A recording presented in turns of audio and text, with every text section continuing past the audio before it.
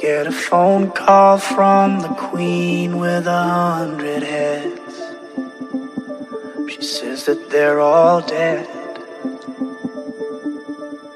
She tried the last one on, couldn't speak, fell off, and now she just wanders a hall, thinking nothing, thinking nothing at all.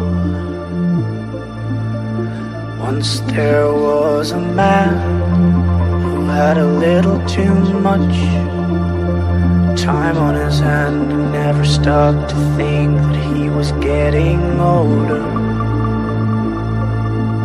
But when his night came to an end, he tried to grasp for his last friend and pretend that he could wish himself health on a four-leaf clover.